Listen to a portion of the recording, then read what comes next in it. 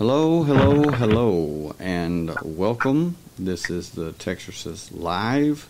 I'm Shane Moore, And I'm Sue Ellen. and we welcome you.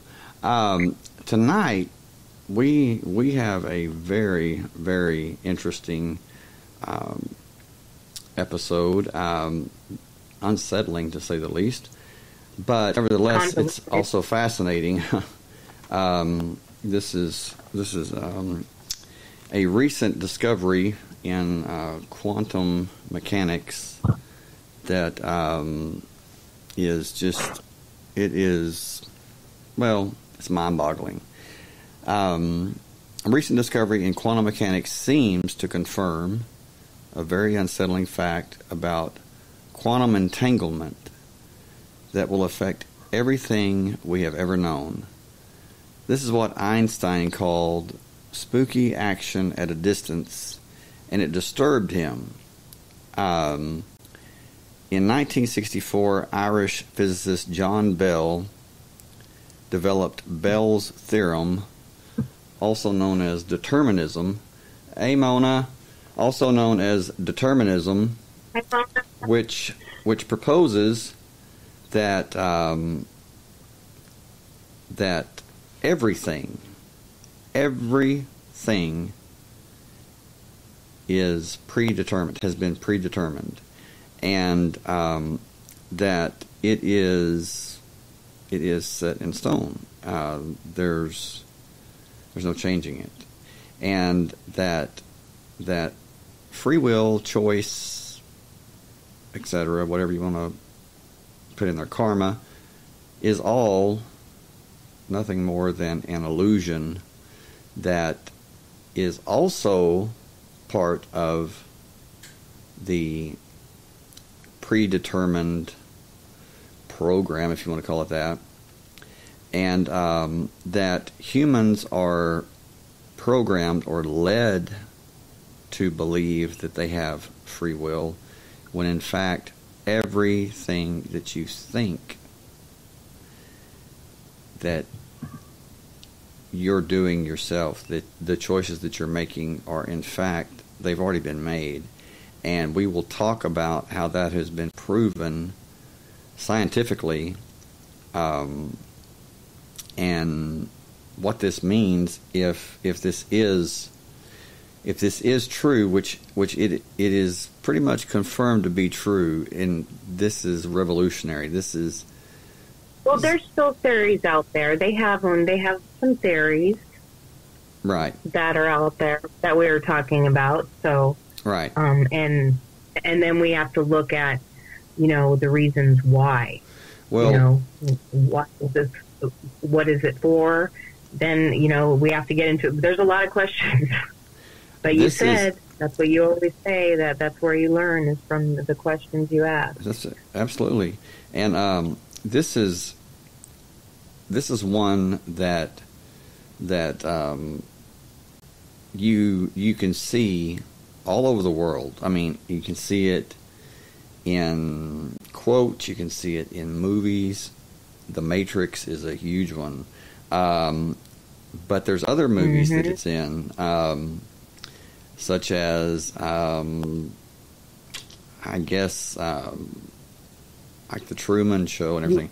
This this this is a a yeah, type. the movie with Nicole Kidman, remember when everybody was fake? the Or others, They were all just the the others. others. And the, yeah, that's where they were all going to Walmart with. They all looked the same. They all dressed Yes, the same. yes, yes, yes.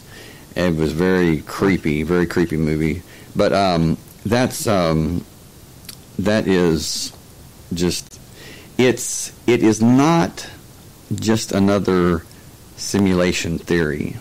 This is this is the closest that this is the closest that comes to my own theory, which which I um, somehow picked up on or tuned into, whatever you want to call it, um, back in about 97, 98, before the Matrix ever came out. And that's why that when when I um, when I and my wife at the time went to see The Matrix that I told her, I said, go buy two more tickets because my mouth was just open. I could not believe. She said, this is everything that you have talked about. She said, it's like you wrote this. And I said, I, I can't Wow. believe it. You know, I said, I cannot believe. And I, it was just amazing. I mean, I'm, I'm, I'm, you know, watching this and it's like, whoa. You talk about feeling like someone has literally been inside your mind because I didn't make this known. I mean, it's, you know, it sounds crazy. Uh, Mhm. especially then, you know, 97. I mean, you just didn't talk about, you know, no one talked about, you know, sim- simulation theory. And um, there's, there's, uh, you know, one thing too that that has been documented as a as a mental disorder, and it is my my own mom said that when she was a child, that she at one time was convinced that her parents had been replaced by clones or whatever, and I forget what that's called, but it is it is a um, it is a documented Yeah. mental disorder Uh-huh. where where a child disorder, like, what now? yeah, yeah, I remember. Um, I remember that disorder. Yes, and it was uh, actually a, a show. Yeah. Well, um, well, there's there this what we are going to talk about tonight may this is this is what I'm going to say, and I'm just going to use that as one one example. That child that that doesn't believe that those are his or her parents may be right on some level. I mean, there may be some truth to that, as crazy as it sounds, because um, it's, um, hey, Michelle. No, no, no, that's fine, that's fine. Um, we were we were running behind. I'm I'm so sorry. I apologize for that. Um, but um, we uh, Oh, so late. we um, yeah, just uh, setting everything up and stuff, and we got started late. So sorry about that, but we will and thank you for that. Hey, Elaine. But um, but that may be right, and to to some degree, because according to this theory, No, they talk.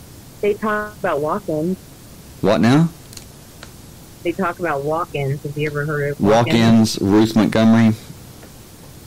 That's where people like let's let's say my life is just so miserable. I'm Right. just so depressed. I really want to die. I want to give up. So I make an unconscious agreement to allow somebody else to take over my Right. life and and make agreement to finish my my karma or whatever. from the um, from from the books written by Ruth Montgomery. I read those when I was like twelve. Those those are some of the first books that I read, um, and very very interesting.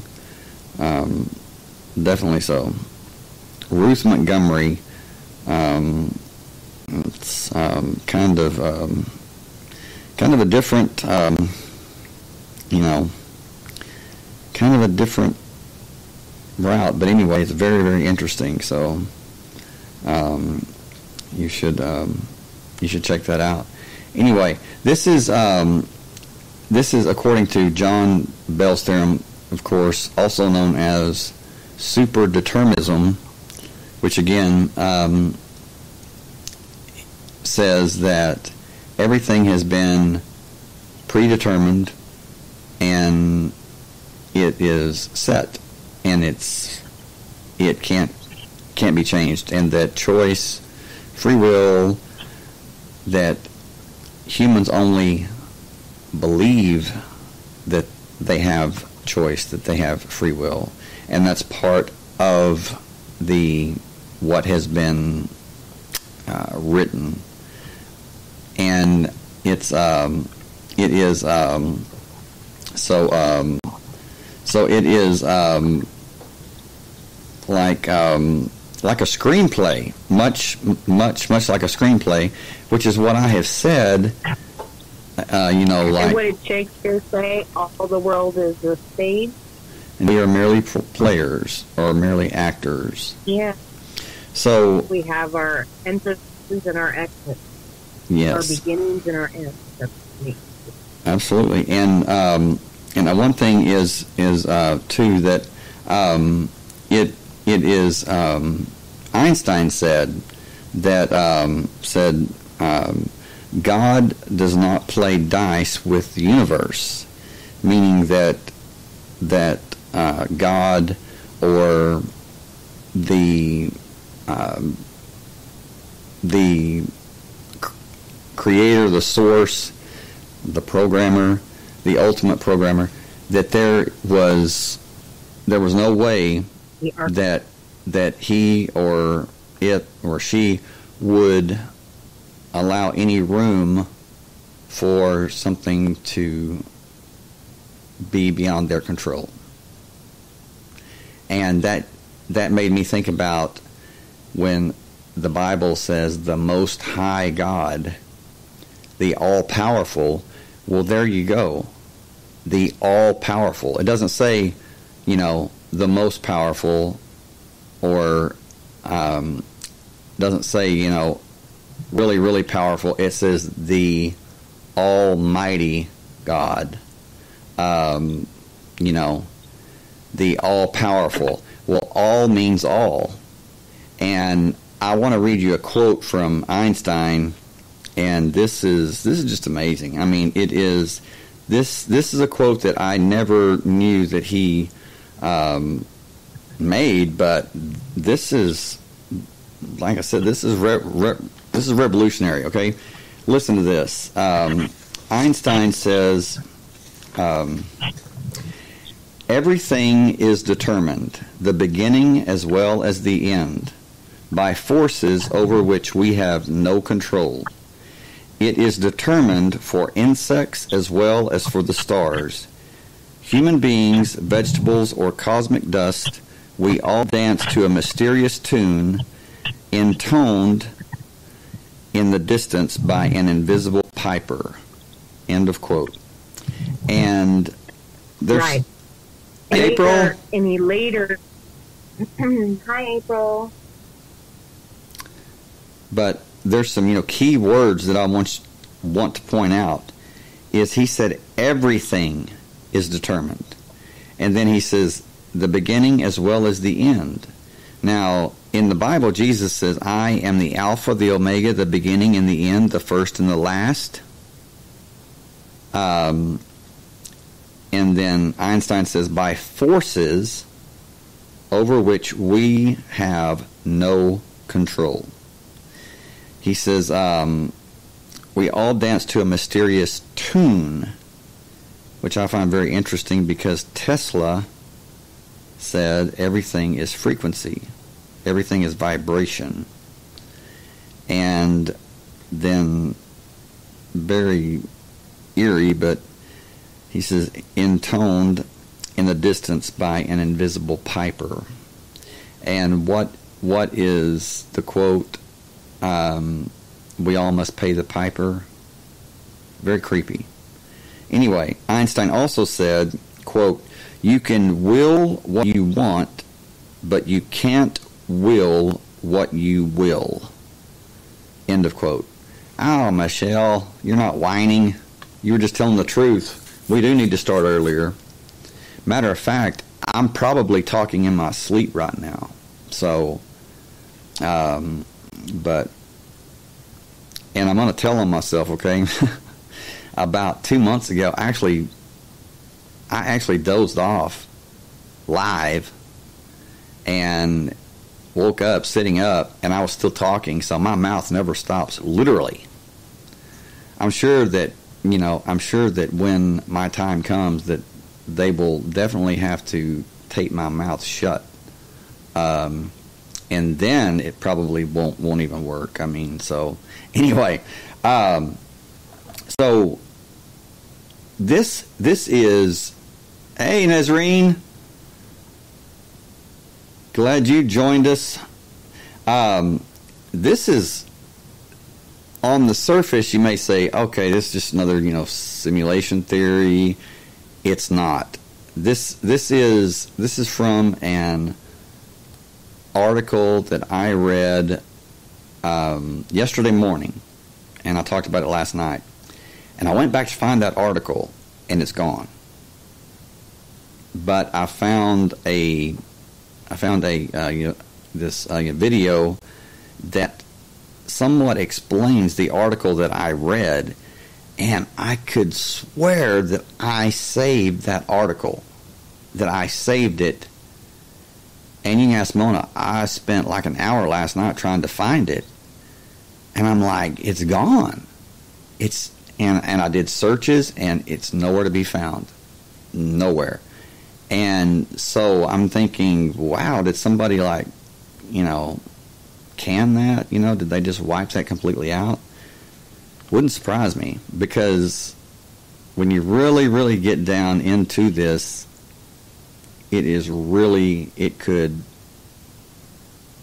it could be really, really bad, freak a lot of people out. So, yeah, this is kind of, this is going to be a freaky, deaky show. So, anyway, your thoughts, Sue Ellen?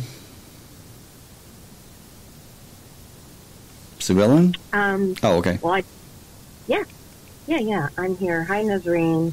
Oh, I was just listening to you. You brought up a lot of interesting things. Um, you just recently introduced me to this theory, um, and uh, actually, there's a lot of things that support what you're saying. Um, there's actually an article in Psychology Today, and it's the name of it is "Illusion of Choice: The Myth of Free Will." In this article, I mean, it When goes on to say when. Um, uh, it's August 28, 2016 Okay. Wow. called the illusion illusion of choice the myth of free will so this is about the same time is that when the simulation theory was coming out Mm-hmm.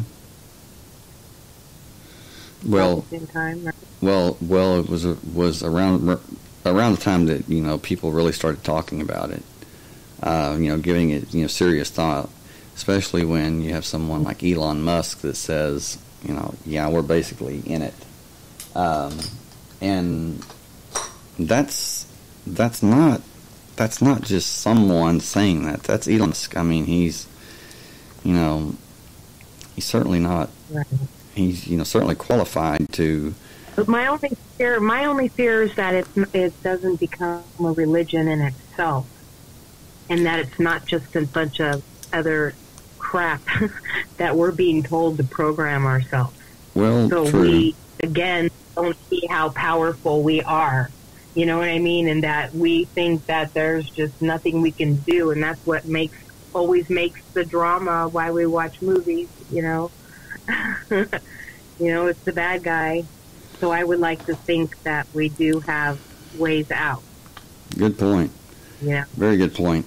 But um, yes, and and it's just you know like I said last night. This this is not not the conclusion.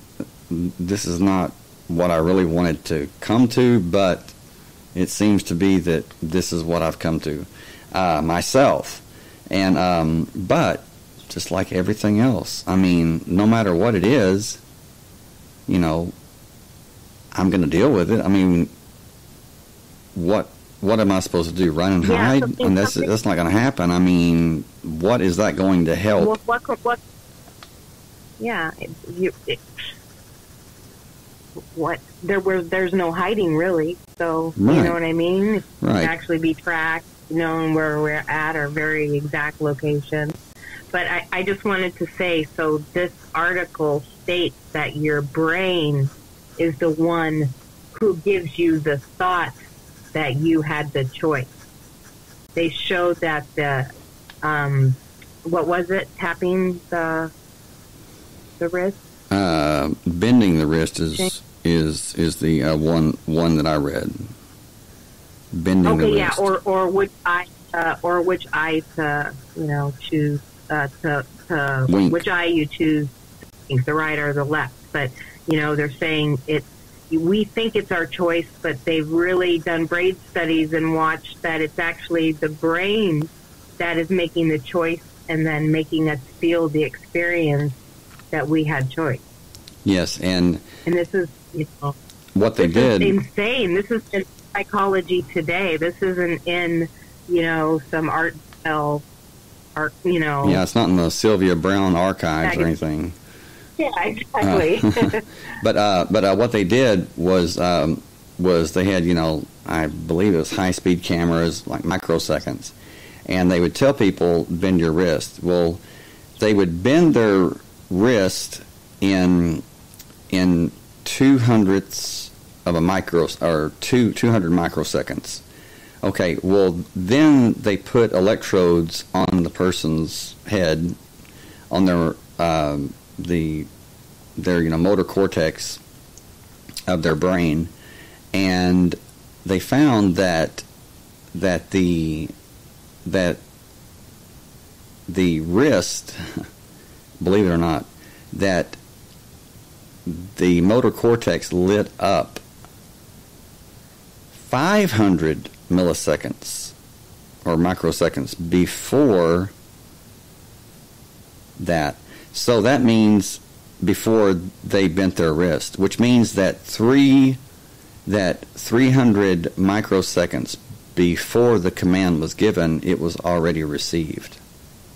Now I know that is not within our bounds of, of but it makes sense logic. if you think that there is no time. If there is no time in reality, Right. and this is, you know, some kind of construct, well, then it makes more sense. Right. So so at at uh, here, here here it is. Motor cortex of people moving their wrist, bending their wrist. 200 microseconds, the brain began um, at at 200 microseconds. They bent their wrists. Okay. At 500 microseconds, before um, they began the initial movement, which means that 300 seconds before the command was given, it it had already been received, and that's just it. Mm-hmm. Is is Mhm. quantum entanglement literally means that it is faster than light, and not not just which which it wouldn't matter if it was five miles faster than light, but it's it's something like a hundred thousand times faster than light, which would be damn near instantaneous, right? Okay, but get this. Yeah, There that's what they're saying in a twinkling of an eye. Right. But there have been experiments and this is this is so hard to even contemplate, but it's fun to com- to contemplate because it would explain a lot of as Einstein said spooky action at a distance or or coincidence or which I don't believe in coincidence. I believe in providence. Um, but there have been experiments where the result was received before the experiment started. And that makes no sense in our time frame. There was all, but yeah, there was an article. Go ahead. but our time frame is actually no frame at all because time doesn't exist. Space doesn't exist. So that makes much more sense about faster than light which would be you would actually be transcending time moving faster than light. Um, and there was a there was a uh, it there is no spoon. It can it Right, can there is the no trick. spoon. Absolutely. And um, yes, little spoon boy, I love him. Um, there's a there was a physicist in 1994, uh, last name Strawson, who said if if one tries to change oneself, those goals and methods are determined by genes, by genetic makeup, DNA, etc. What one can become is determined by what one already is. And that's what I that's why I believe that your DNA is your book of life. When you were born, I believe everything, every experience, everything that you were going to do, and this this actually is the premise of superdeterminism or Bell's theorem is that it it was encoded it, it was literally put like a computer program everything that you would do like listening to this podcast tonight was written in your DNA the book of life. And I believe that that's exactly what the Bible talks about when it talks about the book of life I believe it's talking about your DNA. Um, and I'll read that again. He says, quote, if one tries to change oneself, those goals and methods are determined by genes, DNA, genetic makeup, etc. What one can become is determined by what one already is. End of quote. And um, so that is, that's really that really gets into a lot. I mean, it is it's so deep, and uh, but it's pretty simple. It's it's just it it's indescribable um, what what it would mean. Um, it's, it's, it's like a like like you take you know uh, the word quantum, which comes from quanta.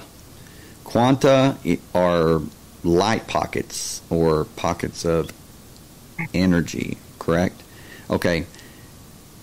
Um, you take that that um, that quanta and um, and it's it goes on. It it goes on forever. I mean, it it may change, but it remains it never dies. That it's it's always going to be energy. It's just, we wanted quanta. It's saying quanta. Do what now? What is the best? I was looking at what what is the best definition. Well, well, it's, it's from the Latin word for the amount. The modern understanding means the smallest possible discrete unit of any physical property, such as energy or matter. Right. He called the unit quanta. Right, which would be uh, Max, Max Planck and um, Planck's length or whatever, which is the smallest, um, which was said to be the smallest, but now they're even saying that there's even smaller particles. But um, quanta is. Yeah, this is discrete. Yeah, they just mean discrete by our means of what we have, what they have. Right. That's the smallest it breaks. So that's what I mean by right. discrete. And um, because they're very. But but it's um, it's light. It's light, you know. Um, it, it can be light or it could be matter. It could be it could be either. It could be both. That sounds kind of godlike. absolutely. Well, absolutely, because what what does it say in you know Genesis? God said, "Let there be light." Well, that was before the sun, the moon, the stars, the planets were created, correct? Because it says about the fourth or fifth day that those were created. So people they they they see it in their mind as um, says says and and the spirit of God hovered over the waters of the deep or something like that. And then God said, "Let there be light," and there was light, and um, and He saw it was good, and and first, and he said first was the words. So it's all about the word, and it's all about the light. Right. So says um, says and he he said and it was and he said and it was and he said and it was but many people see in in their mind's eye they see a literal light shining in the darkness, and that's not what that means. The Hebrew word for that, uh, for light in Genesis chapter 1, can mean light, but it also means data, information, or quanta. Mm-hmm. Quanta. Mm-hmm. And so. Un- unit, yeah, units of information. So, so you you have uh, there there again you have metaphorical language. Um, darkness, the the dark waters is ignorance or lack of knowledge. The light is knowledge. It's wisdom. It's it's speaking knowledge um, into the darkness. It's speaking light into the darkness. It's it's bringing knowledge and understanding into ignorance and well, I, no, lack I of think knowledge. the way that it's all. Yeah, but but also one definition, the literal definition of it, is that they're in the Jewish. Um, I mean, Jewish guys. I don't know if they're in the Kabbalah, you know, but the the real Jews um, that practice, and and they've said that it it literally says there was a destruction. So it's like from the destruction, uh, they made something new well, but but oh, they they were alluding to this wasn't the first time, and and it wasn't. Matter of fact, the and and they were they were letting you know like the first things you have to do. What is the word? You have to make a language, right? right. To have a people group or whatever, you have to have a language and the word, and that is the word is king, and you and people it becomes that way. Well, um, really, if well, you think about Well, it says says in the original Hebrew as as you know, far far as I can tell. I mean, who knows? I mean, I wasn't there when it was written, so this is just a theory. But they say, as far as the Jewish rabbis and scribes and everything that that really study this, they say that the original Hebrew says, "In a beginning." the God created the heavens and the earth. And if you read it even now in like the King Mhm. James or the modern versions, God tells Adam and Eve to replenish the earth. Not not to fill it, but to replenish it, which means that oh, good. Which means that um, they weren't the first. God's telling them, Mm. or the creator, the source, the programmer's telling them, and what you're replenish it. about and what you're talking about is they is that there's supposed to be um, five extinctions before and they some people say that we're going into six right and I I have said that for um, like 22 years or 23 years. Yes, I have I have said that for I don't know. I I I have no idea, but I just started thinking about the days of, of the week and um, and the you know seven known planets, you know, in ancient times, and then it came to me, okay, there's been five and I planet I- killers yeah, I or heard- civilization killers or whatever, and this is the sixth cycle. This is the sixth and final. The the last cycle will be the Sabbath, will be the rest. And man, are we ready for it? I mean, yeah yeah exactly but um, it's well hopefully we're not going it's not the extinction yet well, you think the extinction is a thousand years or or you just think the extinction means the end of the program I think it's the I think it's the end of, of the program. I think it's the end of of um, many experiments that form the total program, which is um, maybe it's like Life 101 or Life 1.0, and then um, it's just different uh, tests or uh, cycles, but um, what the what what this you know theory what this you know proposes it makes you read the Bible. It makes you read um, the the um, ancient Hindu text and uh, you know, Buddhist text and everything much much differently all of them. The Egyptian. Yeah. because because they all share the Vedas.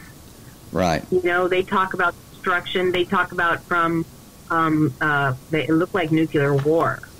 well well uh, So, um, you remember when the rainbow, huh? Well, you you have the uh, you know Catholic rosary. It has 108 beads. You have the Buddhist mala that has 108 Mhm. beads, and number is just reoccurring through many religions. So for you know uh, for you know Catholics or you know Christians say, well, you know it's it's this and that. Hold on there because you really need, need to do your homework on these other religions because when you look at them, the only thing that, well, not not not the only thing, but there's a lot of similarities between some of these religions, um, and 108. And people have been lied to too, like the swastika. That was taken over by the Rothschilds and used as that symbol for. Um, it, it became used as a symbol for Jewish people, but in ancient times, I mean, it was used in ancient civilizations. Right. Um, yeah, I don't know exa- the exact meaning, but I know it meant, you know, balance and harmony. I know it meant a good thing. What the, uh, the- Nazis did was- is-. What the Nazis did, though, was they reversed it, I believe, and which you know. That sounds pretty satanic, doesn't it? Well, yes. I mean, that's that's basically what they were. I mean, um, Mm-hmm. you know, a re, a reversal. Yeah, you know, going backwards. Um, but um, so, but this is this is the real um, this is the real shocker, and it's it is very interesting, but it's also very unsettling, if you ask me. Um, is that um, Einstein, um, Oppenheimer, Teller, and many, many more of these uh, you know, physicists that worked on worked on the Manhattan Project, building the atomic bomb. Um, they many people think that they were doing all these equations and mathematics and um, advanced mathematics and everything, and they were.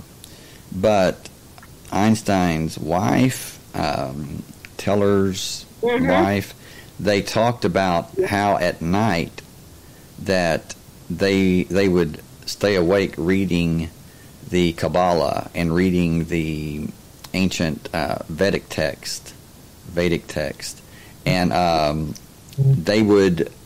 That's where.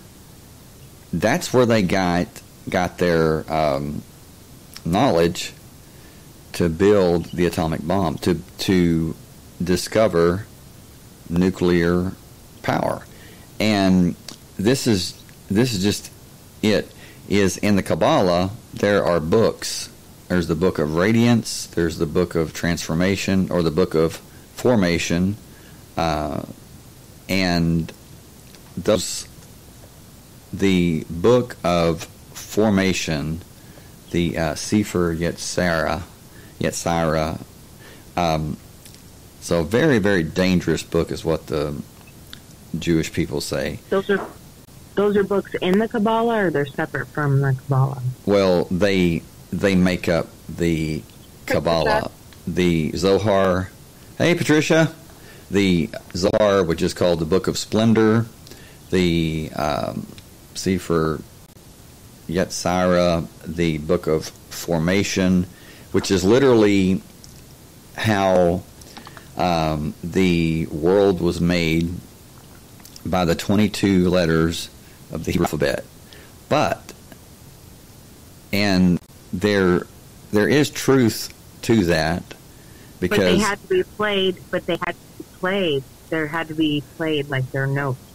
Right, and right. they needed the right frequency for to be played on the right instrument. Right, right, because it's frequency.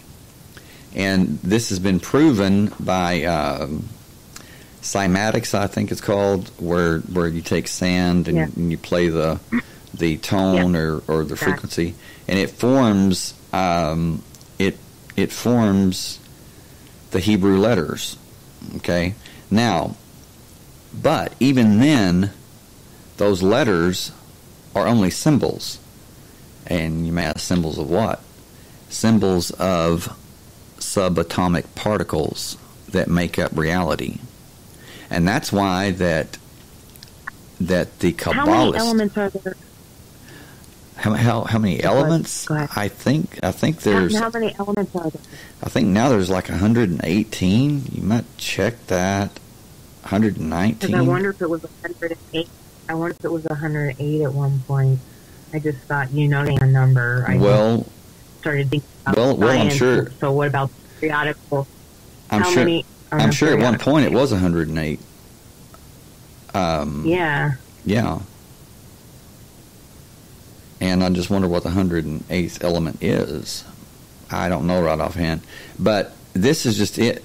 This is just that. Is that 118. You're on it. You are on it. what now? It's 118. You are on it. Oh. Well, In 1869, there were 16 elements. there, there were what? In 1869, there were 69 known elements which were used to create the first table. Wow. So they started off with 69. Well, um, what what is the 108th element? Oh, that's a good one. Because this is this is no lie, okay? This is a little this this Um, hassium. what what now? Hassium is a chemical element with, and its symbol is HS. Okay. So that would be 819. That would be 819 or in that whatever. And atomic number 108. It is not known to occur in in the nature and has only been made in laboratories in minuscule quantities. It is highly radioactive, the most stable known isotope. It has a half-life of approximately 16 seconds. The first attempt to synthesize the element 108 was made at the Joint Institute for Nuclear Research in Something Moscow, uh, Russian, in 1978. Another attempt was made at the venue in 1983, and in 1984, the latter resulted in the claim that the element 108 had been produced. Later in 1984, an attempt was made um, at the Gassenschlatt für Schuren. I'm not even going to say it. I know, it's in German. Who also claimed synthesis. In 1993, a report by the Joint Working, that was just a bunch of German people. And the 1993 report by the Joint Working Party between the International Union of Pure and Applied Chemistry and the International Union of Pure and Applied Physics concluded the report from Darm, Darmstadt that more conclusive on its own, and thus the major credit was assigned to German scientists who chose the name hassium after the German state of Hesse or Hesse. Oh, okay, yeah, the German state of Hesse. In the periodic table of elements, it is a transactinide element, whatever that is. Hassium is a member of the seventh period and belongs to the group eight elements. Hmm. It is thus the sixth member of the 6d series of transition metals. Chemistry experiments have confirmed that hassium behaves as the heavier homologue to osm- osmium in group 8. The chemical properties of hassium are characterized only partly, but the, they compare well with the chemistry of the other group, other group 8 elements in bulk quant-. Hassium is expected to be a silvery metal that reacts readily with oxygen in the air, forming a volatile tetro tetroxide. Thank you, Elaine. Hmm. Hassium. Okay. Well, I'm I'm about to blow your mind. Okay, like literally. Okay, the number 108 with the rosary, with the Buddhist mala, and um, you know they they have 108, um, and and there's different.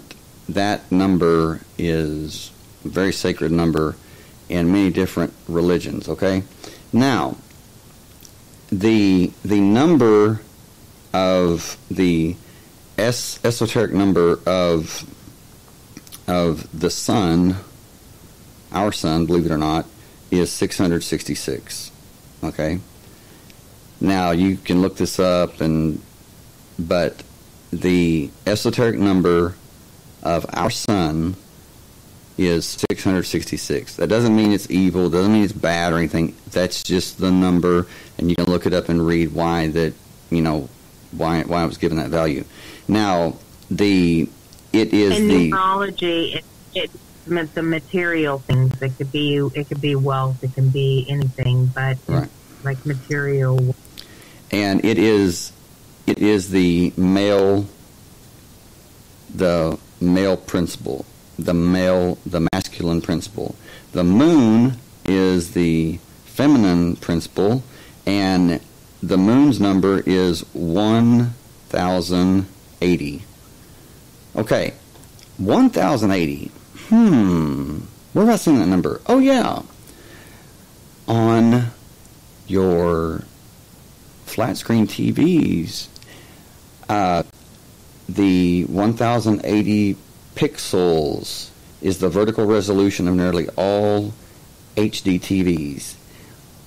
1080p is full HD. What is that? That's digital. What did everything change to? Digital.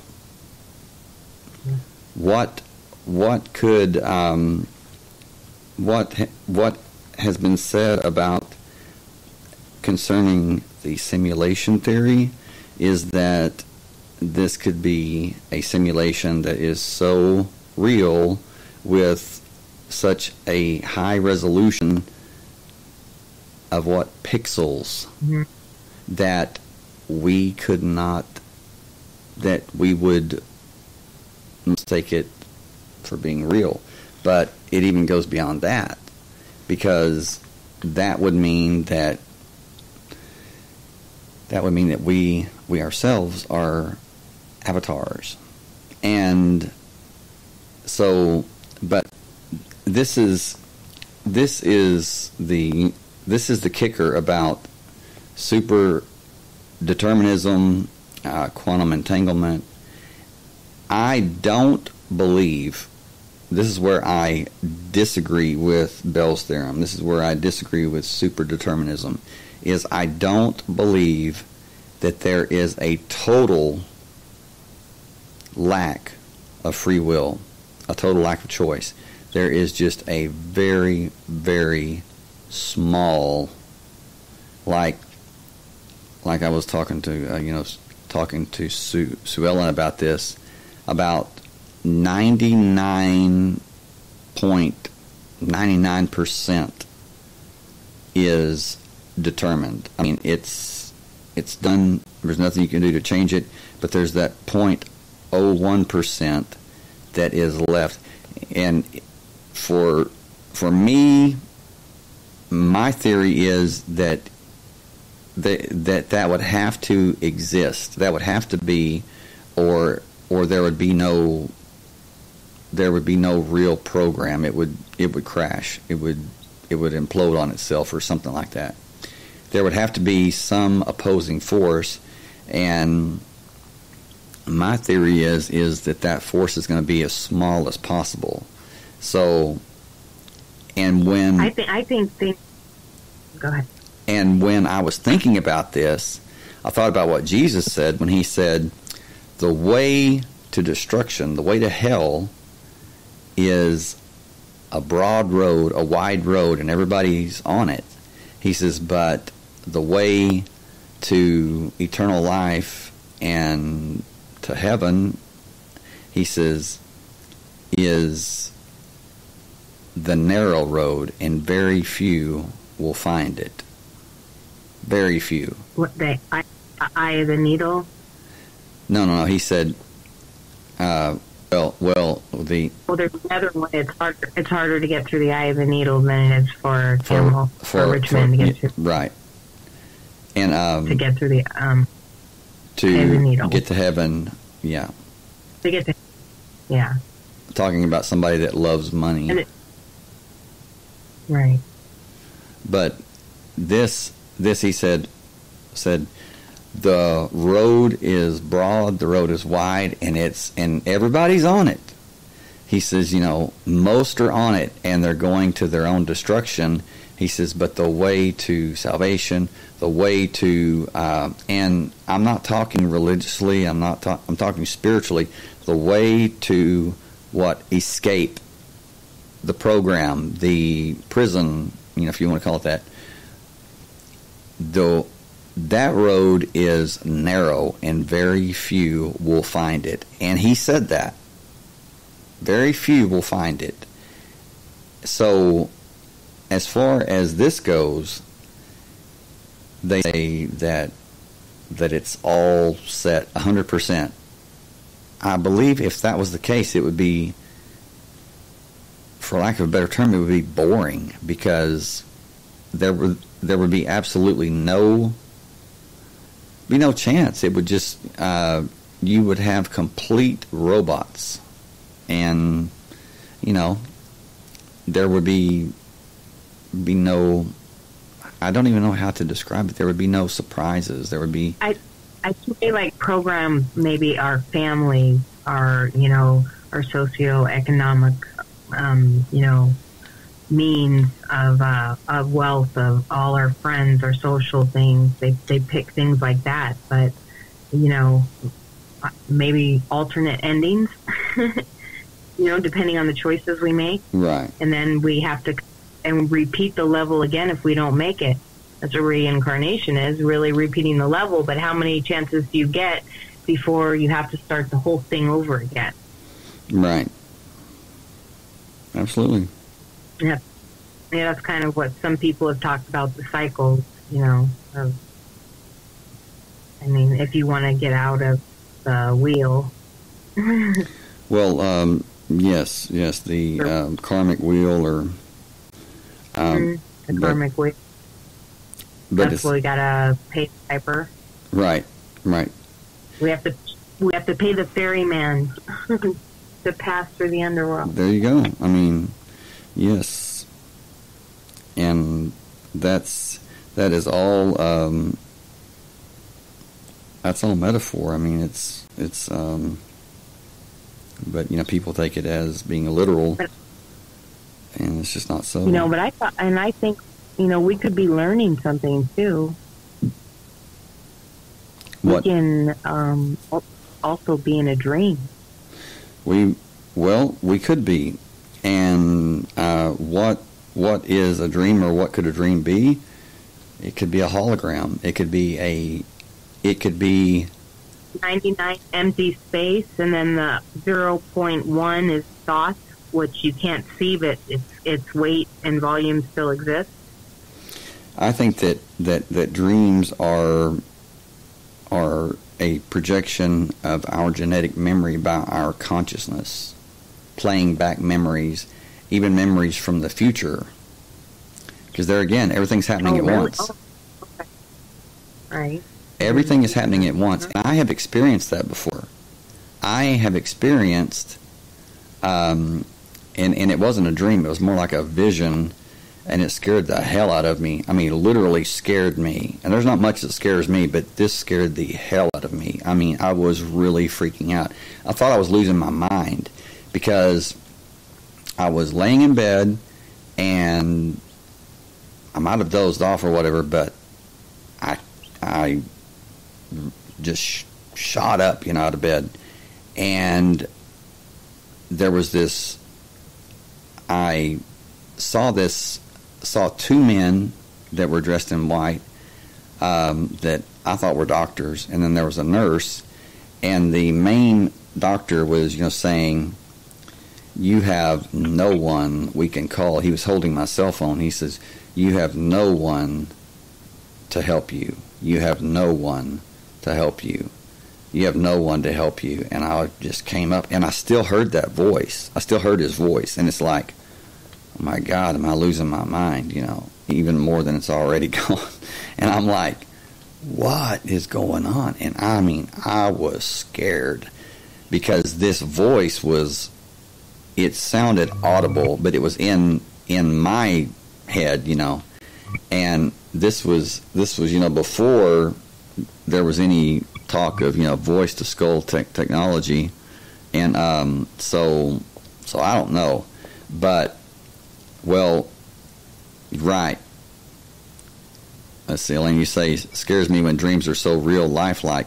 This one turned out to be very real. I was um, on uh, in on in North Arlington, very very far away from my home where I lived in uh, Parker County, and um, my vehicle broke down, and um, in the middle of nowhere, so I had to walk, and it was summer, and it was like ninety eight degrees at night. I mean, we're talking Texas, and it was just um, just um, really really bad, um, and so um, so it was um, really taxing on me. Uh, let's see, Sue Ellen, uh, if if you would, uh, you can hang hang up and call back because I think we're we're we're picking up a lot of something. I'm not sure what it is. So so I'm going to okay. uh, yeah yeah just uh, oh okay and call me back. Yes. All right. But, um, okay, let me call her right back. I'm not sure what that is, but she's been having problems with her phone since we started talking about this, even before we, you know, started the show. So, uh, very, very strange. Oh, uh, wrong phone. um, let me see. Okay, hold on. Um, but I I uh, walked. I walked like a like I don't know. Um, I walked like twenty miles, 15, 20 miles or whatever. Hello. Hello. Yeah. Okay. Okay. You're back. Okay. So so I walked like I don't know. I said 15, 20 miles. It might have just been 10. It was so hot. And my cell phone wouldn't work. Imagine that. And Mm-hmm. not, not not only that, but my debit card wouldn't work. And I just had one at the time. I mean, I just had one card, and it wouldn't work. I tried to call them; uh, they were closed. You know, and I mean, everything that could go wrong did go wrong. And Yeah. and um, I made it to this restaurant, and I sat down, and I was just, you know, I was just, you know, sitting there. I wasn't. I I didn't. I mean, I wasn't sitting there crying or anything. I was just sitting there and minding my own business. And this guy walked in, and he was Hispanic. He was big, and he was covered in tattoos, and um, just just looked, you know, like he was a like he knew how to handle himself, like really, you know, good. And he kept looking at me, and I'm like, oh man, this is not what I need right now. And um, so I'm thinking, oh man. So he gets up from, I guess his two girlfriends. I had no idea, but uh, he gets up and he starts making his way over to me, and I'm like, oh God, here we go. And he comes over and he says, he says, hey brother, he says, here's five dollars. He says, I don't know what you're going through. He says, but I feel you. and I'm like, oh my God. I said, man, I said, I can't take this from you. And he says, no, he said, I want you to. And he wow. said, and um, I said, well, you know, thank you. And um, so got me something to eat and everything because nothing was working. I mean, it was, it was like it was like I was in hell. I mean, it, ah, it was so horrible. And So and nobody helps you. You know what I mean? You feel like nobody would really, really rude and look at you with suspicion and what what what what he said was is he said he said I would take you home because it was like it was like 30 miles away. He said I would drive you home. He says, but he says I've got like six DWIs. I'm thinking, good grief, you know. And but hey, you know, I mean, he was he was nice to me. I mean, great to me. But yeah, I mean, nobody would you know help help me. You know, it was like like I was, was Charles Manson or something, you know. And so so I started walking again. Well, I remember walking and just being so exhausted that my legs felt like jelly. And next thing you know, I remember falling over a like a barricade, like a sawhorse. And that's the last thing I remember. And I woke up in the back of an ambulance, but I didn't know it was an ambulance. I woke up and there were the two doctors, what I thought were doctors a week before, and the nurse, it was a woman, you know, paramedic, dressed in white, and the two male paramedics that I thought were doctors in oh, uh, a week before, the main one had my phone and he said, We've called everybody and he says, You don't have anybody to help you. You have no one to help you. We've we've called everyone. You have no one to help you. And I just leaned back and smiled and he says, What's funny? And I said, um, I said, I just have this feeling I've been here before. And he said, What do you mean? I said, Oh, I said, I just deja vu. I, w- I wasn't going to say what really happened and wind up, you know, in the psych ward. So um, he said, um, he said, Well, uh, we, we um, took your, you know, blood sugar or whatever. And he says, Your blood sugar level was at 40 or, you know, is, is, is at 40. He says, How are you even conscious. He says, "How how how are you, you know, talking to us?" And I said, "Look, I just do it. I don't explain it." You know. and uh, they um, they they were just your blood pressure and your heart rate too, and you just took it like a champ. listen. Mom, my mom says that she should have named me Timex. I take a licking and keep on ticking.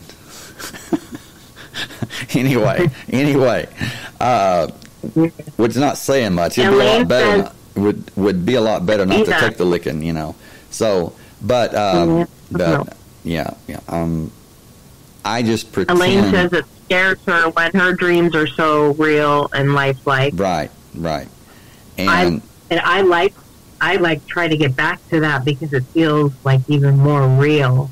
You know, I mean, I can fly and I it feels more real and alive than I feel right now. Well, well, well, well, it's like the the uh, you know dream that I had, you know, where where I hit the young monk because I thought it was like a lucid dream. I didn't think he was real, and I guess he was because because it was like, you know, I got in trouble for it, and it's like it didn't quite work out the way, you know, it was like a fluke.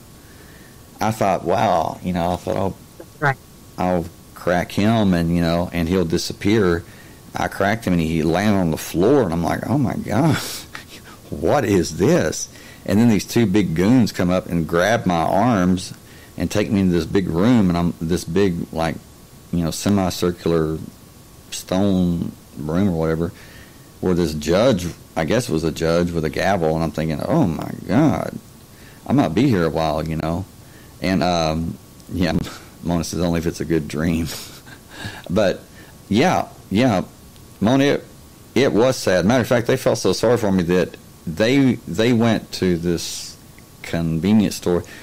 turkey sandwich, all this juice and everything. They brought it back and they said, "Eat this, drink this." They said, "You know," I said, "My God, you know, you're you're you're gonna have a heart attack or something." And so, anyway, um, yeah, that, that was a rough night, very rough night.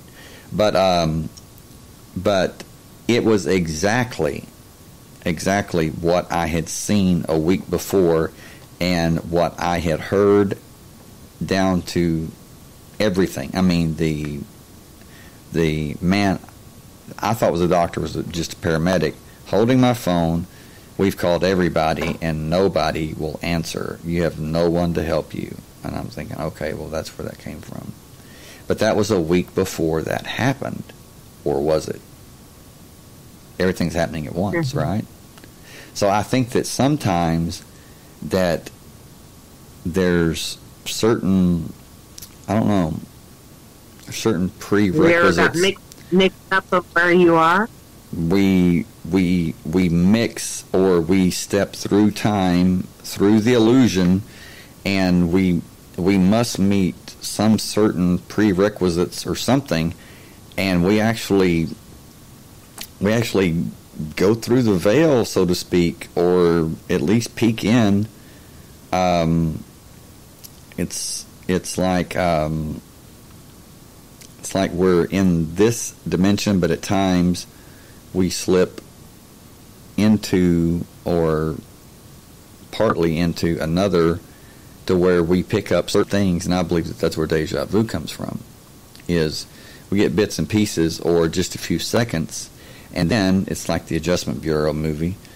Um, some alarm goes off, and they're like, "Whoa, pull him back in." You know, he doesn't need to see that. So I think that that's why that deja vu just lasts a few seconds because as soon as you're in it, you're out of it. You know, I've never heard somebody right. say, "Oh, I had deja vu for you know like three hours." You know, no, you didn't have deja vu, bub. You went to a totally another dimension if you, you know, three hours. But um, so the um, the the really amazing thing about um, about the numbers, as far as you know, the simulation theory is that um, the numbers um, for for the sun and the moon. Um, of course, they um, when you add them together, it it um, equals 1746. Um, okay, that's a that's an important number, very important, powerful number. Um, 1746 I believe. Gosh, if I can find this. Um, let's see. 1746 was um, was when. Forty years before when. Uh, it was it was 30 years before the Constitution was signed, and it there's there's something about the I don't know if it's the 30 year war. Forgive me, something about the 30 year war, or whatever. But um, uh, something about that year, 1746, and I think I think I've got it now. Um, let's see. Okay, um, I'm not sure, but um, we we have 46 chromosomes, right? And then mm-hmm. um, and then 17. I'm not sure what you know 17 would represent, but um, uh, something I didn't prepare for this as far as you know going so, so, so, deep, but but I saw the rosary 108 beads, you know 108 beads, the mala 108 beads, and then put that with with the moon, Luna um, at 1080 pixels, the vertical resolution of nearly all full HD TVs, which is digital, and um, yeah, it's it's it's very There's there's 92 natural elements. there's There's 92. 92 natural, there's right? nine- Right. I don't know if that's a number, so I'm just bringing it up. And then if you divide that number, uh, Well, um, what what I find very interesting is that um, you is that you know computers started with with what eight bits plus eight bits sixteen plus 16 32 plus yeah, 32 six, it's six. 64 remember the commodore Mhm. 64 Oh, and then I've heard of it. and then you take take that um, and it's 128 all of those numbers from from 8 um, There's 16 unnatural elements. 16 un, unnatural? Oh, okay Elaine you say Uh-huh. it's, say it's an angel number? Okay. Um,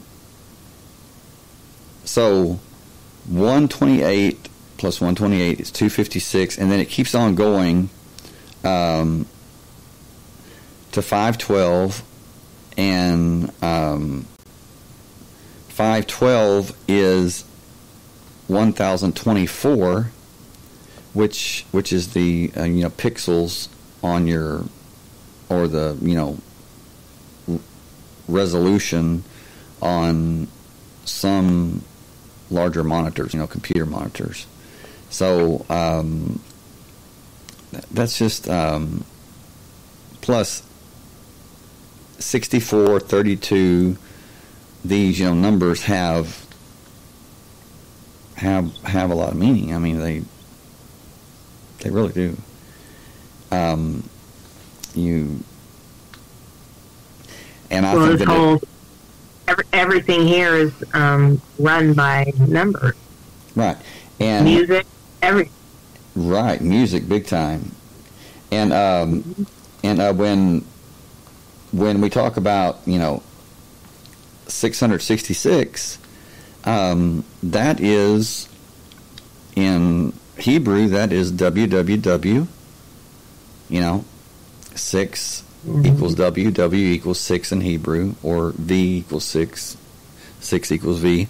Um, Hebrew letters, but this is um, this is what is really amazing is that the Kabbalists, those who really really studied it and you know everything, they their their prized book, their most dangerous book, and it was said that that there were you know men or you know that there were rabbis that read it and you know studied it and literally went insane. They lost their mind. Uh, they just couldn't handle it. And um, I'm wondering if this this you know, theory or fact is what they found is that there was really there was really nothing uh, as, such as um, tr- true choice with with without having the odds stacked against you making a true choice or making your own choice. And um, I mean, But I- isn't there books or books like on how to hack the system and be able to actually make things and create things that you want through that, you know, magic or whatever. Well, a particular Well, yes, yes, there are, but that that's that's getting into um, it's getting into really really dangerous territory because what what the book of for, formation is is it is uh, you know it says that it's using the Hebrew letters. It's how to use the Hebrew letters to create to to literally create matter in this world aka the golem, the clay, you know, man figure and or you know male figure that they would write the Hebrew letters on the forehead and do certain incantations, and it would become a living um, man or monster or whatever. And this was said to have taken place in Prague in, I believe, the 1500s. That there were a group of you know Kabbalists that did this, and that that this um, this this created um, avatar, if you want to call it that, uh, terrorized Prague for I don't know how long. Frankenstein. Yeah, well, yeah, exactly. But what what that book is literally saying, what it's literally describing, it has nothing to do with the Hebrew letters. It has everything to do with subatomic particles and how to manipulate, how to use them to manipulate reality as we know it. And that's why that's how that's why that the that the Kabbalists they they'll take their prayer shawls, their tzitzit, and they will close those, and you will see them rocking back and forth, back and forth, and for hours, hours, hours. What are they doing? They're praying. But how are they praying? They are imagining. Listen, this this knowledge does does not come from books. It does not. Yes, some of it was passed down, but what I'm talking about is it was it comes from your imagination. You you get a visual, you get a mental image in in your mind in using your imagination and and little by little, day by day, the more you you know focus and pray on it or meditate or you know whatever they did do um, with with the rocking they're actually going into a altered state.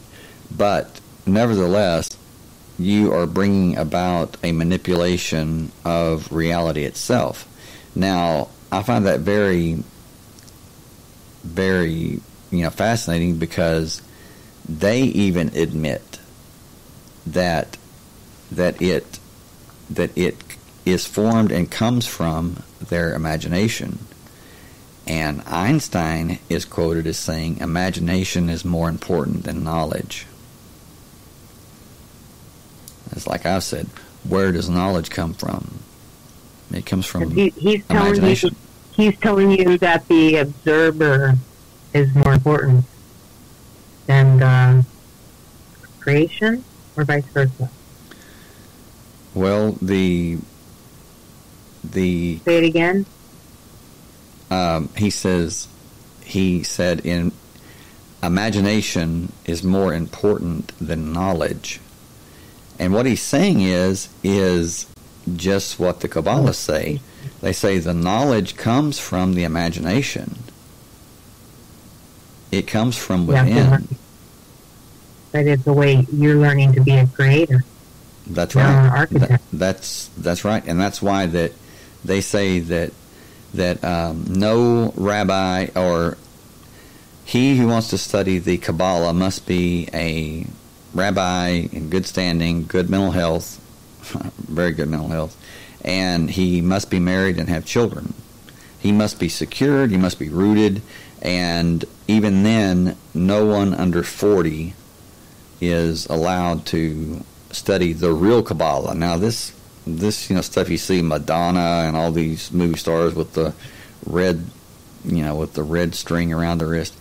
Yeah, that's that's that's a that's a sign of you know Kabbalah, but theirs is like uh, I don't know Kabbalah daycare or something. You know, it's like they're playing to where where these these real dedicated and when I say dedicated I'm talking about uh, it, it was said that some went into went and lived in caves sometimes for like seven years just just studying day and night over the Kabbalah. And you know, yeah, that's pretty dedicated.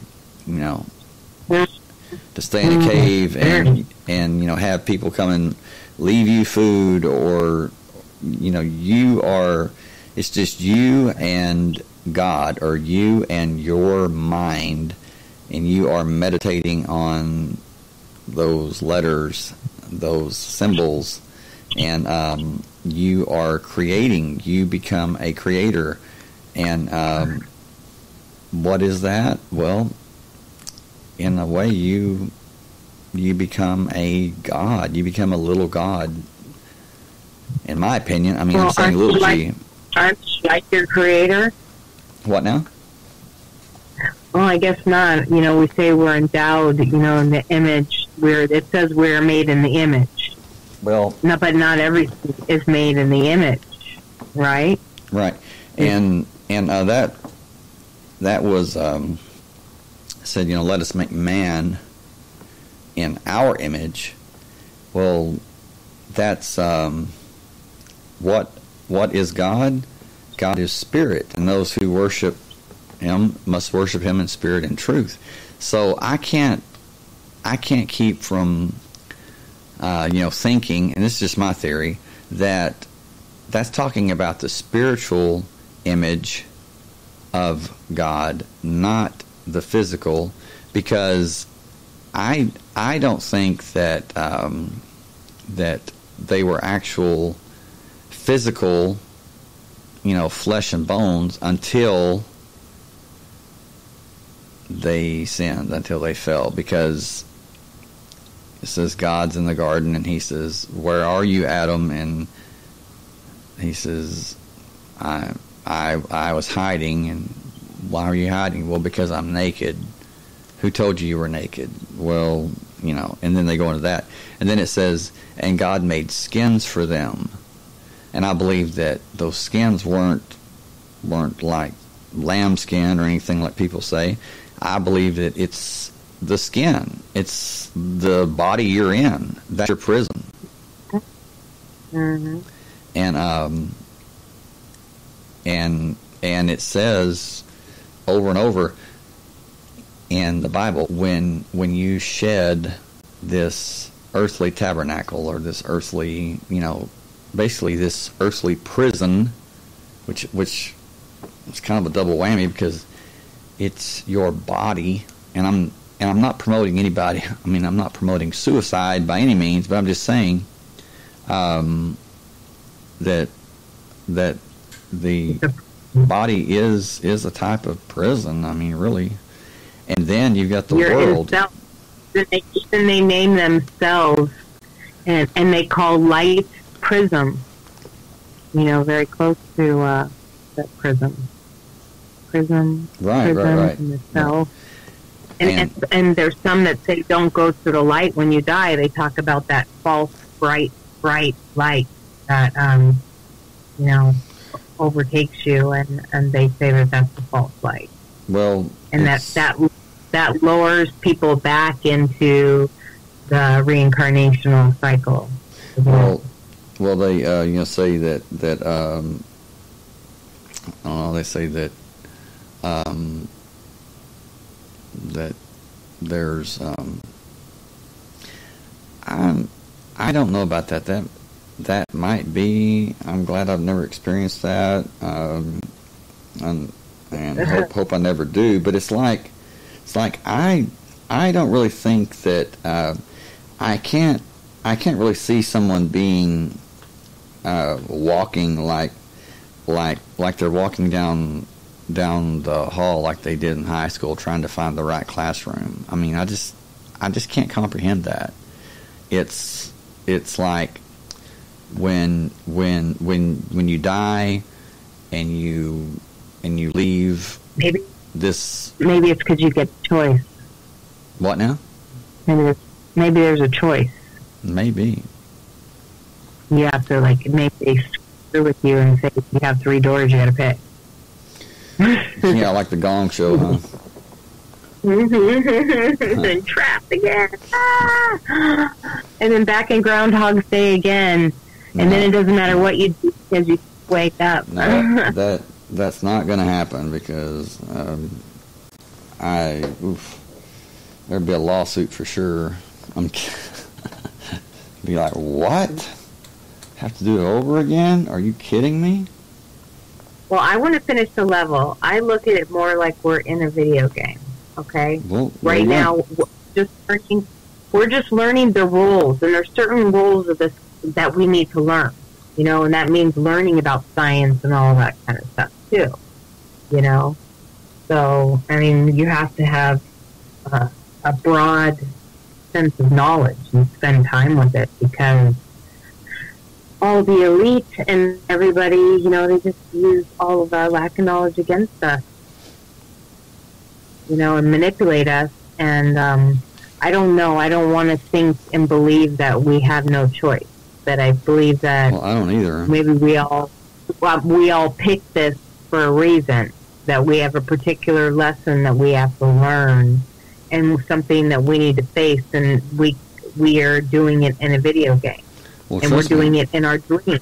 Trust me, this this this would not be my choice at all. I mean, not at all. Right. And um, But I'm saying eight hours, I believe that during our sleep, we're supposed to spend our entire sleep being able to travel, um, imagine, have dreams, and wake up and remember them, explore, go to different levels. Like you ended up on the monk level that one time. That should be um, a regular thing. well, well, um, who decides? Uh, and But they take the resonance off. You were saying that they took the frequencies and the hertz. They changed everything so that so that stopped that. You know what I mean? Like even the musical scales were changed. I don't understand it all. I'm very what now? The musicals. They even, yeah. Well, they changed the um, the um, I The said that they changed the the. No, no. Well, you were talking about how they did have, have changed frequencies, you know, to control people. Oh, okay, yeah. but um, Will talk that like um, even we don't play the musical um, in the same. I don't know what it's called, notes or scales as we're supposed to.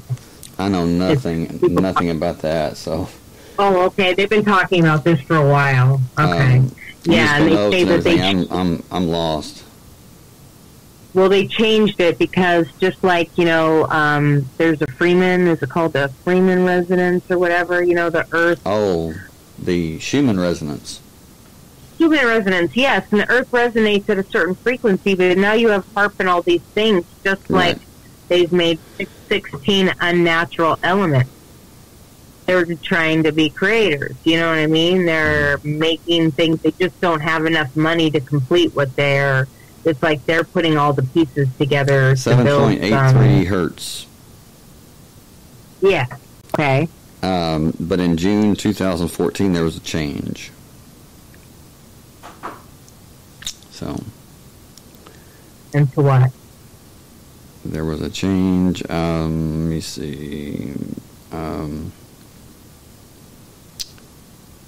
yeah, the Schumann resonance. Um, okay. Says says the Schumann resonance has been a natural and constant frequency of planet Earth, pulsating exactly at 7.83 hertz for thousands of years. For the ancient Indian rishis, I believe, um, this um, this um, number had a special meaning and was considered the sacred and cosmic sound in the Hindu religion. For the Western world, the Schumann resonance represents the frequency of the Earth's electromagnetic field.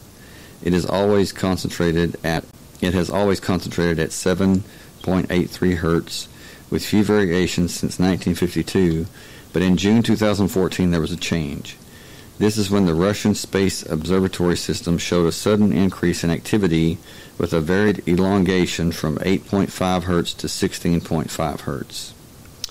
Um, the researchers were amazed at these values, something they that had never been recorded that way. More and more recently, other peaks have been detected, increasing the planet's frequency to more than 30 hertz.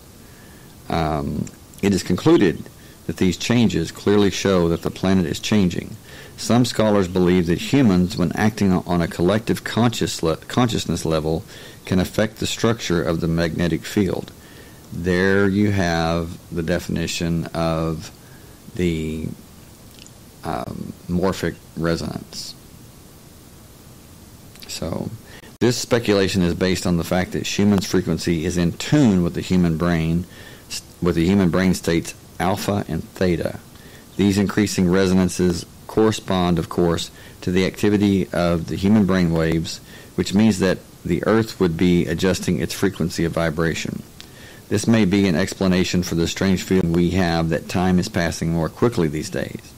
The reason is apparently linked to the excess speed of Schumann resonance, which makes us feel a 24 hour period as if it were approximately 16 hours. That makes a lot of sense. And time is not yeah. our only notion of acceleration. Today, access to information and increased world awareness also influence our sense of time. So that's that's something to to really think about. Um, so, and what if these hertz or frequencies can program, or even like radio stations? You know, and then uh, on certain waves that we can't hear, but we can be programmed, and maybe like we and we've seen, it's the brain that makes the executive decisions. You know, so. maybe somebody that they can mess with our brain, therefore mess with the frequency, and um, you know, then we can't be aware and awake to who we really are. Right. Um, well, maybe so. I'm not. I'm not really we're sure. All, we're that. off now. Everything's just off. No one feels like that great or that good or. or right. Well, um, so, so, so, uh, what are your, um, uh, you know, thoughts on this? I mean, I know it's not a pleasant thing thing to think about, but it's, um, it's certainly, um, I don't know, it's you know convincing, or it, it's um, very compelling, to say the so, least. So in this theory that everything is programmed. So what does that mean for us? That this is just going to be what we experience in perpetuity over and over again, or how does that work? No, I well, I'm not sure. I mean, it could be. It could be anything. I mean, anything's possible. But but I I I feel like it's my it's my theory that that um, that you know it's that this is the last cycle and and uh, whenever this is this is said and done this is you know when it's over uh, then we enter into eternity or um, whatever you want to call it heaven um, nirvana or you know um, mm-hmm. So. Nirvana. Valhalla. Uh, there's there's all different kinds of of um, words for it. I mean, it's um, but basically the same concept. Yes, it's mm-hmm. scary and disturbing and goes against everything we've been taught spiritually, religious, and scholastic. Ah, Scholastically. Scholastically. Scholastic. Ah, forget it. Scholastically. Yeah, tell that to my tongue. hey, my but- tongue does the same thing. I butchered it. And it needs um, but yes, that's that's exactly right. And uh, the last thing that that you know that you're going to see a lot of these um, spiritual giants, these men of faith, of word faith, like Kenneth Copeland and Joel Osteen and all these people, you know, get up and say is say, hey, you know what? it's already set. You're already going to do what you're going to do, and you're already going to, you know, you're going to be held accountable for what you do, and that's part of the lesson. So there's really no need to um, send that thousand dollars in for for your for your healing, or there's really no need to. Uh, and that's crazy to begin with. You know, it's like they they and they've already set up panels. Um, according to the Bible, they've already set up the panels of the saints are the ones that are supposed to be the ones that um, you know condemn them or Yeah. sentence them. Well, well, Paul says says, uh, "Don't you know that we will judge the angels?" Talking about the fallen angels. He says, "Don't you know we will judge them? We will," is what he says. The believers will, and um, I. But yeah, yeah, that's that's that's where that verse comes from. Is where you know so you're talking about you're talking about angels. we're talking about fallen angels they- or demons, Oh, whatever you want to call them. But um, but yeah, and that's that's just it. Is is could could this be the revelation? Could it literally be the revelation? Because I listen to like past shows, and I have said that um, that I don't really think that I think that that what the what would be worse than much more you know catastrophic, much more um, distressing than something like a meteor or uh, you know slamming into the earth would be for information for certain knowledge to become known that goes against, and you've said it clearly, that goes against everything that the world has been taught spiritually and religiously and scholastically. Mhm. That would be, people would be, you know, if that's the truth, it's like, you know, a lot of people say, um, or, or it's been said, you will know the truth, but first it's going to piss you off. and that would piss And a lot of people off. disturbed. And you will be disturbed. Right, yeah, absolutely. And that is that is really going to if if that's that's the case, I mean, you can't really prove it. You know, I mean you you just can't. I mean, that's there's no way. Um until it's all over. I mean, and that's what really sucks about it. But it's kind of like a black hole. You can't see it, but you can see the effects it has on things around it.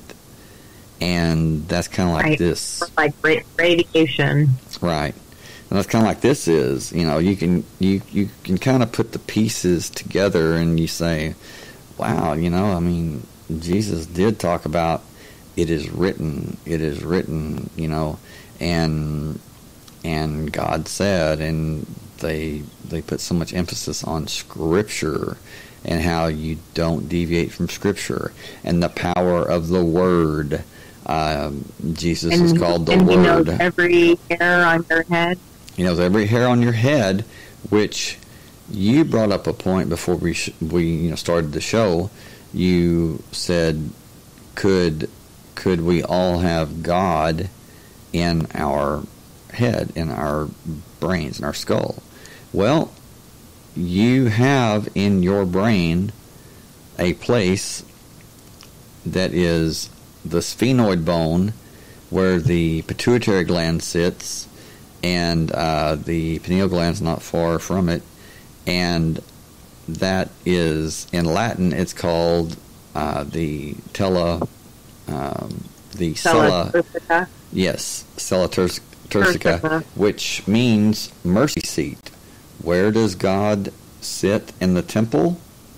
In the mercy seat.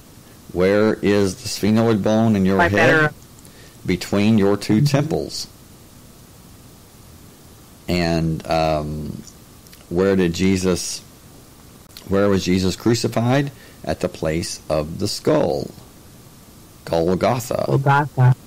and people say, well, it's a hill and, you know, that looks like a skull. Well, maybe so. But could be the skull in your head. He lived 33 years. You've got 33 vertebrae in your spinal column. And um, you have 12 cranial nerves at the base And of your skull. Lee lived 33 years. You you have 12 cranial nerves at the base of your skull that are the 12 could be the 12 disciples and then Hmm. then further up in your brain you have 12 nerves on one side and 12 on the other side which would be the 24 elders spoken of in, of in the book of revelation. Around what? Around the throne of god. What's the throne of god? The ark of the covenant which is the sphenoid bone.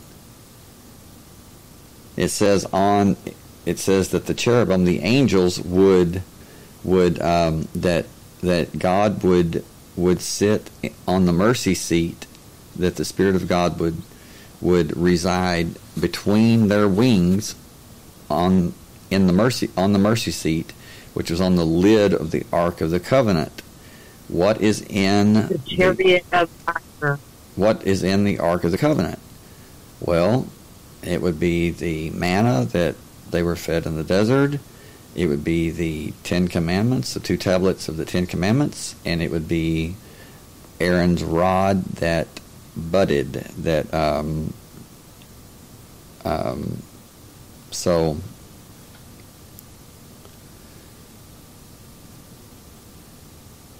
And that is very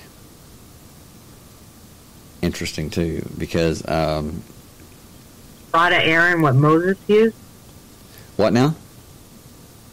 Is a rod of Aaron what Moses used?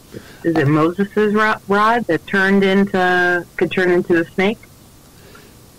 Uh, that I believe it was Aaron's rod that yes yes it was Aaron's rod, rod rod that turned into a snake um, and swallowed the Well, Moses the, used the two snakes of Pharaoh. Yes, so um, so How long- But, what now? Go ahead. It, it was your. Uh, go ahead. What you're saying. Um, the the Ark of the Covenant.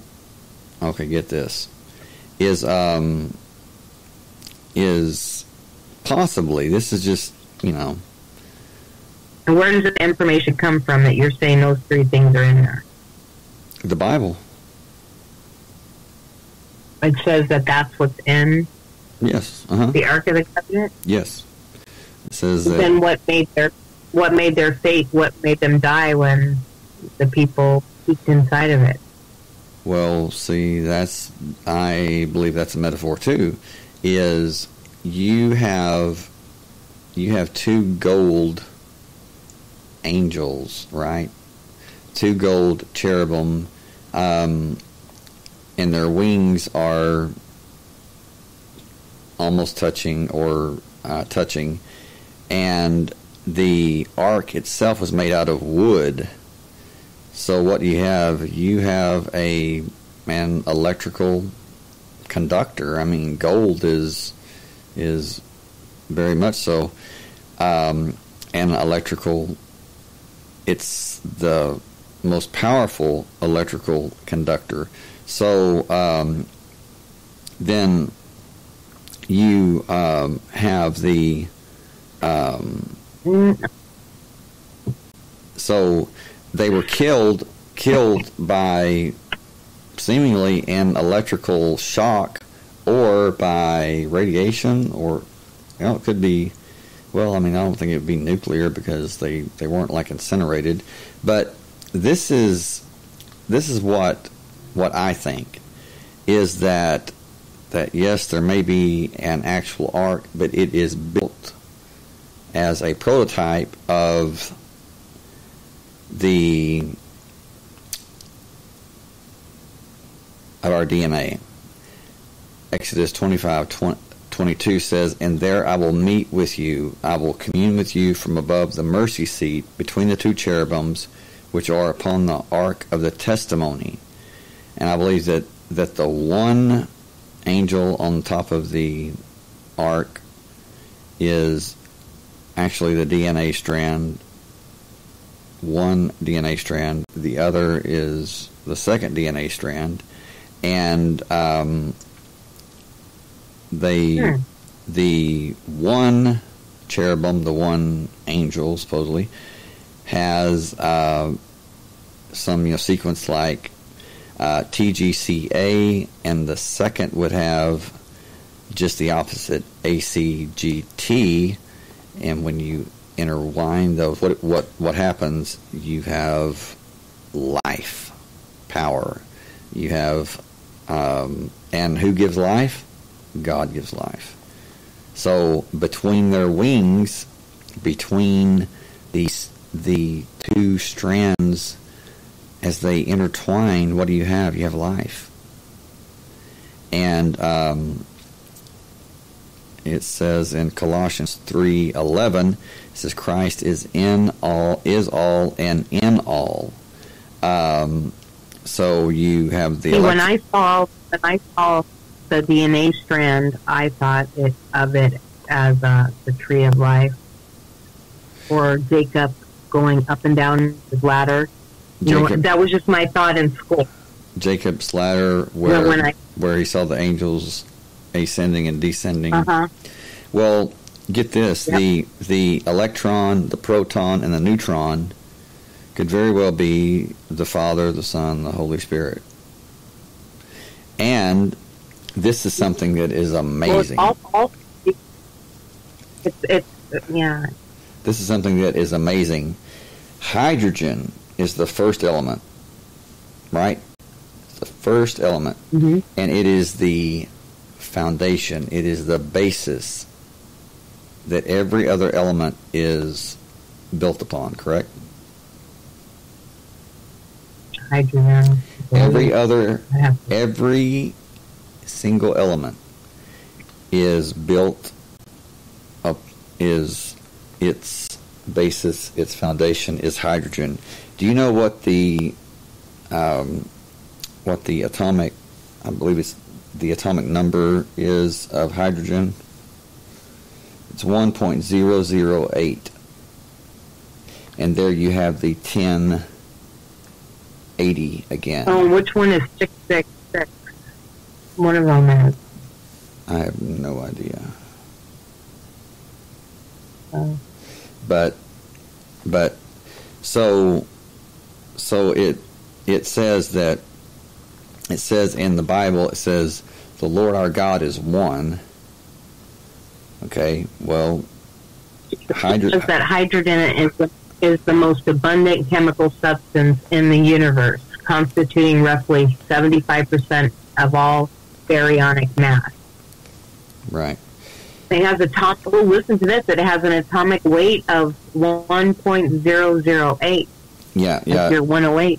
yeah. I just not said that. I said I said the one point zero zero eight, and Oh, look look at the I 10, 1080 and Uh-huh. and then the 108 there's those numbers again oh yeah, it's an 80. Oh yeah, it's a, yes, you're so right. and so so Wow.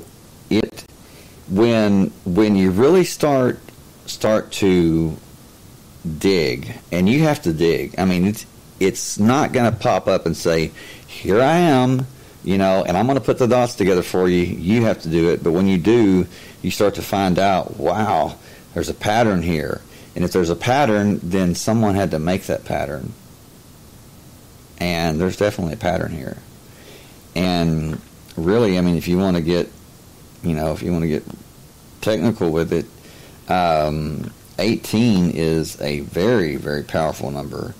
Um, you you It's you, good for a tarot. you take 180.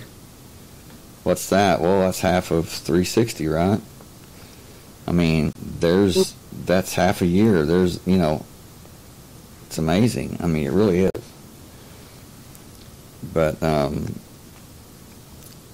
you take 360, take away the zero, the 36, you add every number 236, 1 plus 2 plus 3 plus 4 plus 5 up to 36, and it equals 666. So, Yep, and there, and the um, six six six relates to the carbon atom and man. Um, right. There's six protons, six ex- uh, uh, electrons, and six neutrons, absolutely. and that's part And the every, magical God code carrier is the very code for all life. Absolutely. Carbon based. Carbon based. And um, it's it's really it's really amazing uh, when you get right down to it. As far as the the Star of David, you you have the proton, which is positive, which you could say points up. You have the um, neutron, or the um, I'm sorry, you have the electron, which points up. You have the proton, which points down, or vice versa. But then the neutron, which is neutral. So that that could very well be the the of David or the intersecting triangles. Now the um, the um, it you know goes into the different um, things as uh, golden pot of manna, which would be the DNA and RNA and everything like that. But anyway, we have gone on for almost two hours, so we're going to call it a night. And um, those of you that took part in the live chat, thank you for being here with us, and we've enjoyed it. And um, hope you got something out of the show tonight. Uh, I know we covered a lot of information, but um, anyway, if if you would like to. Everybody. If you'd like to uh, contact us, you can reach us at um, the Podcast at gmail.com or, or go to our website at uh, www.texarcist-podcast.com. And um, Sue Ellen, do you want to add anything? And make sure to like and subscribe and share and download. Yes, we would appreciate that if you would. And tell your friends and family, and um, we would certainly appreciate it. Thank you all for being here. You're welcome. Thank you for being here, Nazarene, and um, good night, everybody. Uh, yeah, like the like button. Thank you, Elaine. We will call it a night, and we will see you next time. Good night, Yeah. everybody.